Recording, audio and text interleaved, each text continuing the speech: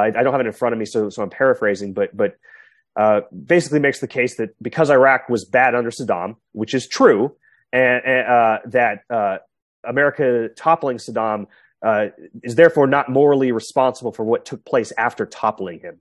That is not how any of this works, and, and that, that's not even how the architects of the war saw it. Colin Powell very famously told George W. Bush before the invasion we if we do this we are responsible for all of these people and all of their lives and everything that happens afterwards. So it's just lazy it's sloppy it, it, it I, I, these are these aren't stupid people. Um, I, I, I think they're just ideologues and they're caught up in uh, um, uh, in, in kind of the bi- binary political aspects of this.